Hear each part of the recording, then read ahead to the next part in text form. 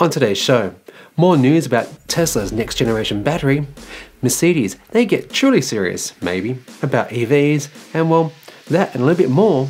My name's Chris, let's get into this.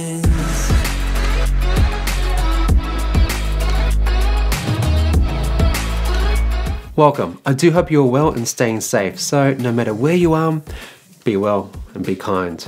Alright, today I'm going to mix it up a bit and we're going to kick off the show with mail time. And well, on last week's episode, I detailed what the current state of affairs is around like carbon capture, use, and storage. And well, your responses was truly heartening. Danny wrote, Great episode, Chris. Angus Taylor should watch this one. He might learn something. Or are part of donation pockets too full from you know who? Green Grub Wooden Toys Australia writes, Good summary, keep up the great work. And Richard, who echoed many other comments with, Thank you for the truth. You are an awesome human being to care for the people and the planet. Look, thanks to everyone who has commented so far and look, making this video like this and this and well and this i do it because well i care about what happens to our world i'm worried about the, the world that we're leaving our kids and importantly i know that there are many examples out there not only in australia but also around the world about things people uh, technology that's actually making a difference and changing the world we live in. So, what I'm trying to do here is inform, educate, make it fun, and getting the information out because goodness knows there's a lot of negativity out there, and I'm trying to lift it up, chime. And it's hard when you're talking about politicians because they tend to bring it down, don't they? But nonetheless, look, thank you for your comments. I really do appreciate it. Now, if you have been enjoying the show so far, please do subscribe whilst you're there. Maybe think about joining us over here on Patreon where you get early access, polls, news, stuff that you just don't get here. And yeah, keep those comments coming. Next up, meet the new vertically aligned carbon nanotube battery. This new design combines the highest ionic conductivity thanks to like a 3D fully accessible nanostructure through its vertical arrangement of 100 billion nanotubes per square centimeter. Now, I just casually throw around a big number like that, so let's put that into context, shall we? If you were to stack these tubes on top of each other, it would be higher than the world's largest building. That's pretty impressive. Now, given that this thing is like a typical battery, only better, this new 3D electrode geometry can solve the vast majority of performance constraints faced by battery makers. They're going to be able to boost battery power by a factor of 10, energy storage by up to a factor of 3, and life cycle up to 5, and we'll reduce in charging times down to minutes instead of hours. NAWA's dry electrode technology also brings like significant environmental advantages being easily recyclable and eco-disposable at the end of its long life cycle. As a result, NAWA estimates that by using ultrafast carbon electrode in like a lithium battery cell, the CO2 footprint could be reduced by as much as 60% and well simply because there's less active materials required. That and what potential savings by using less lithium and what this new design is got a great application for EVs. The makers of the battery say that if the technology is applied to an electric vehicle, it could potentially go faster and will further with 1000 kilometer range, and that will make this very much commonplace in the market. My viewers in the UK, listen up. Classic motoring manufacturer RBW Electric Cars has revealed the pre production model of its stylish electric roadster.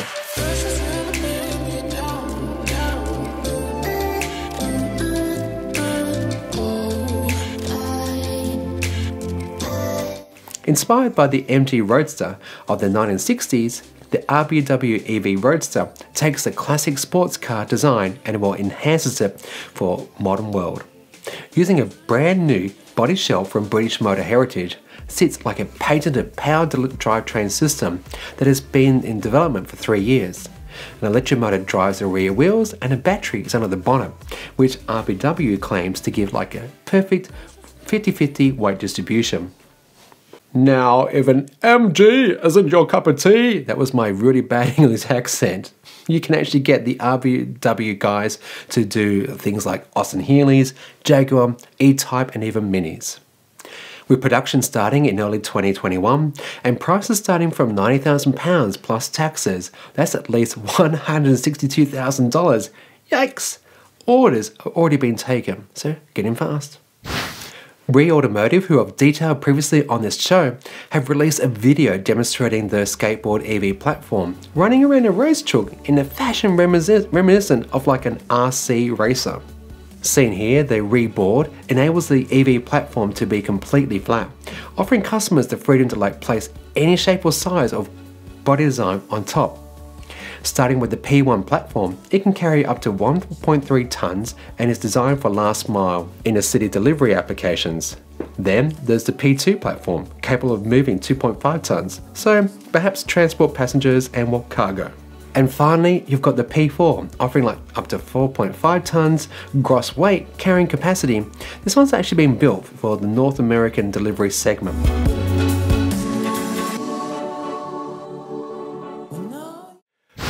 Mercedes has revealed its Ambition 2039 plan to provide a CO2 neutral car fleet in less than 20 years from now. How? Well, it's building on its electric modular platform, much like VW's MEB platform so that the electric version of its popular S-Class saloon will become usable in electric varieties instead. Mercedes claims that its next generation of electric vehicles in the luxury and executive segment will be possible using a custom developed architecture, which is scalable in every aspect and will can be used across model series.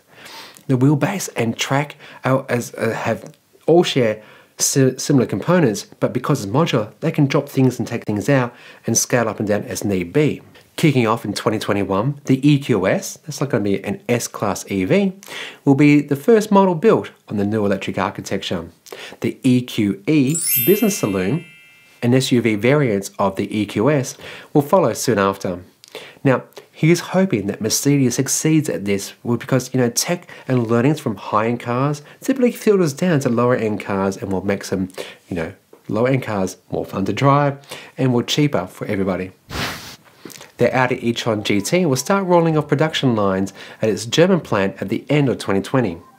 Large areas of the body of the all-electric Gran Turismo are constructed from ultra-high strength steel and aluminium. To produce this material mix in planned quantities, a shop was established that combines like skilled craftsmanship of the employees as well as fully automated robots to help with it.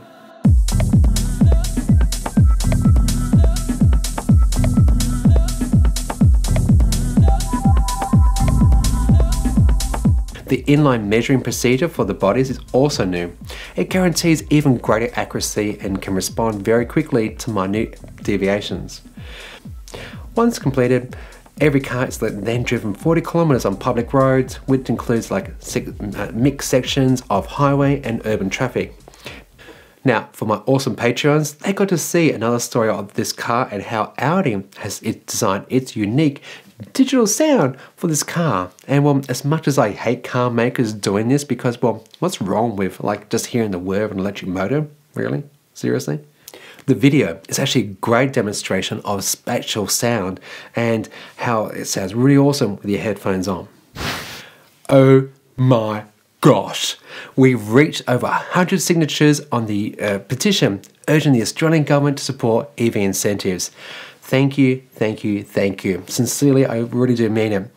So, now, question how are we going to get this message out there to our politicians that so many Australians actually care about this? Yeah, I'm going to try and do something big, so I've got a bit of thinking to do. I'll be asking my awesome patrons for their input as well. If you've got an idea, put it down below in the comments and I'll let you know what we do. Because what at the moment, I've still got the five kilometer restrictions, which are really annoying me, but I'm hopeful that you know those these, these things change in the very near future.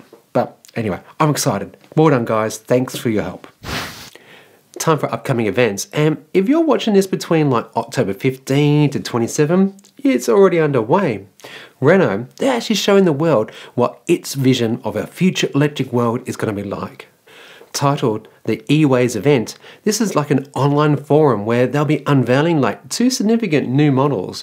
The Renault Megane E-Vision, that's like a dynamic compact hatchback for a new generation of electric vehicles, and the Dacia, I think that's how you pronounce it, Dacia Spring Electric, a car that looks strangely familiar, because it is, and is because it's been uh, promised by Renault to be the cheapest EV yet. So let's take a look at these cars and see what they're about, shall we? Now, at this moment in time, they're only going to be available in Europe, and there's definitely no word about them coming to Australia. Compliance cars. Mm. The Renault Megane E-Vision is an electric compact hatchback which combines elements of a coupe with an SUV. Built on the company's brand new CMF EV platform, it will pack a lot of hatch in a small form because, well, the engine does, isn't there to take much space and well there's no transmission box or you know channel or anything like that. So yeah it's quite a good looker I reckon. Next is the Dacia Spring Electric, and this I think will revolutionize the market by like making electric power, like electric vehicles rather, accessible to everyone. With only like a 26.8 kilowatt hour battery, Renault claims that this car can achieve over 200 kilometers on one charge with an onboard 7.4 kilowatt charger for AC charging with an optional, this is where this car is coming from by the way, a lot of optional extras you can add onto it, an optional DC charging option. So being built to a dollar value, that means that what you get is actually like a tiny, tiny 33 kilowatt motor and they'll be like really slow at light so don't try to drag people off on this car. No and well if you're in traffic and you're thinking you might be able to overtake somebody don't. I think you'll be like you gotta you gotta wind up the rubber band you know? And then it might actually go. So Renault describes this car as being like simple, reliable, and affordable. And that's the important thing here, folks, because translated from euros to like Australian dollars, or as my friend likes to say, one million dollars. That's after taxes. Well, it could actually realistically bring EVs to the mainstream because look, most people in Australia they buy cars between twenty and thirty thousand dollars, and this is only a little stretch above that. And when you take away the um, service costs, the cheaper running costs, uh, lower fuel bill, this I think would do extremely well, even though like in this country of ours where we do have massive distances between places, I still actually think that for the majority of people who live in Australia, we live close to cities, most of us. So, mm, well done, Renault. Keep it coming, and yeah, don't wait too long to bring it down under. And well, just one last little bonus story, and well, finally, Elon, he's confirmed when we'll start actually seeing these new battery cells, stating on Twitter that 4680 cell with structural battery pack and front and rear single piece castings. Also, a new paint system. Lots of new technology will happen in Berlin, which means significant production risk. Fremont and Shanghai will transition in approximately two years when the new tech is proven. Now, the Giga Berlin, which is due for completion in under a year, will be like up and at full production by the second half of 2021. So, in line with Tesla's announcement on Battery Day that the Model S Plaid will also be available in late 2021, we now find that this move is actually very interesting.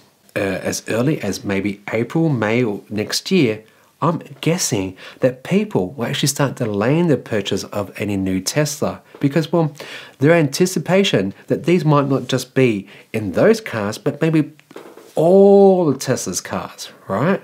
Known as the Osborne effect, this phenomenon describes a negative outcome from a company prematurely releasing information about future products and impacting sales of their current lineup. So, what do you think? If you knew that around the corner this was happening, would you delay your purchase? All right, well, that brings us to the end of another episode. And if you watched it this far, thank you, thank you for watching. If you haven't, have you already, like, subscribe. It would really help the channel. Smash that little like button. Leave me a little comment. You want to go to the next level? Think about joining these awesome Patreons over here, where you get like the early access, polls, news, stuff that you just don't get here on YouTube. And you if you can afford like a coffee per month, that's as cheap as it gets. Like it, it, goes up from there. I get it. And look, these awesome guys over here, my producer level, that's like Ashley Hill, uh, Nigel Farrier, and Tessa Nagong. Thank you to you guys, and but also all the other guys and girls over there on Patreon who support this channel. And you know, uh, producing something like this, um, you know, I, I want to give you the best experience you can. And yeah, it's uh, it's it, it takes a little bit of this. anyway, all right. I've been rambling on too long. You be good and you be great.